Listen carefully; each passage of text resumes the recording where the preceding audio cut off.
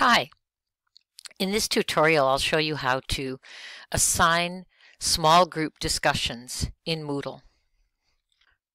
On your course shell, you'll click the Add an Activity or Resource link over on the right within the block of material that you want to include the new discussion board.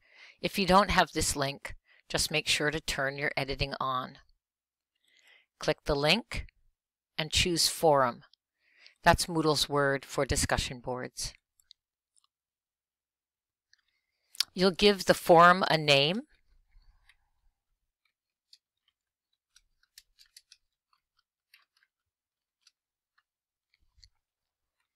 And down here under Common Module Settings is where we find the group assignment setting, Common Module Settings.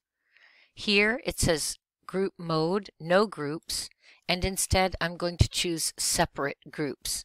Separate groups mean means that when the students click on the forum, they're only going to see the discussion posts from their own group.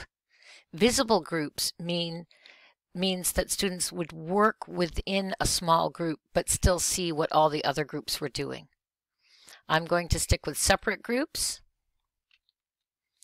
and then I'm going to scroll down to Save and Return to Course. Now you'll see here is my forum that I've created, Discuss Use of Force, and you can tell that it's in the group setting because there's the little two head icon. If you add yourself into the groups, then you'll be able to participate in the discussions with your students as well.